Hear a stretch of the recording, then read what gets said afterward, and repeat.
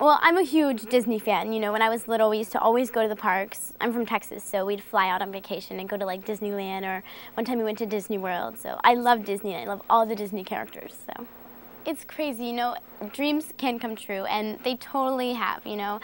Um, with the TV show and recording and doing a CD and like putting all that together, it's just like it's a whirlwind. It's it's unbelievable to me. I can't even I can't even I never imagined this, you know so many people write me emails about, you know, I want to be an actor someday, and da, da, da, and they're so sweet. And, you know, I've been out here for four years, so it's really hard work, and you have to sacrifice a lot, but it's worth it in the end, and you have to stick with it. You know, you have to follow your dreams because they can come true, and it's, you know, it's hard, but it all pays off in the end.